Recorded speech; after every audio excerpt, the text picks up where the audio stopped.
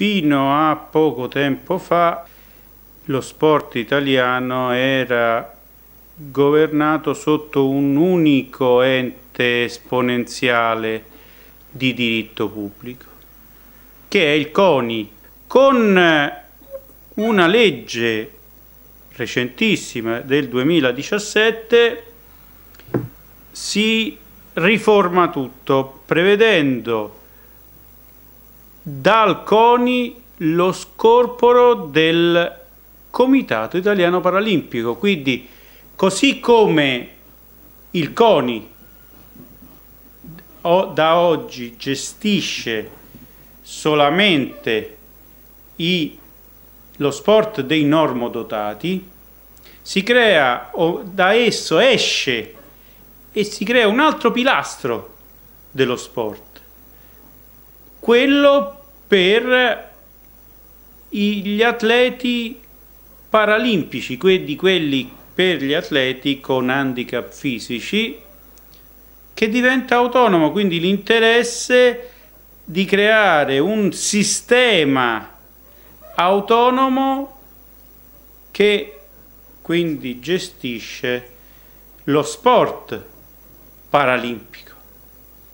uscendo dal CONI, uscendo dal CONI e quindi creando una struttura parallela a quella del CONI. La eh, legge prevede in particolare una struttura assai simile a quella del CONI e quindi il presidente del CONI corrisponde al presidente del Comitato Paralimpico Italiano, una giunta, un, eh, un consiglio nazionale all'interno del quale sono rappresentate le federazioni sportive paralimpiche che nasceranno e le discipline sportive paralimpiche. Quindi una struttura parallela a quella del CONI, struttura che ha una natura di ente pubblico, quindi come fa il CONI? quindi con natura pubblicistica pubblica, quindi del, dei regolamenti che emana, del personale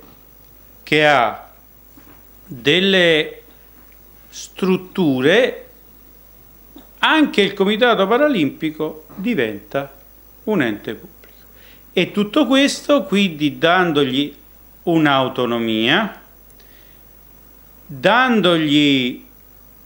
un'autonomia sia giuridica sia economica perché comunque per le attività strumentali è legata da un contratto di servizio con il CONI Servizi, ma non dipende più dal CONI, ma dipende direttamente dal Ministero, così come il CONI e questo la dice lunga sull'interesse che lo sport paralimpico ha da parte delle attuali strutture che disciplinano lo sport in Italia.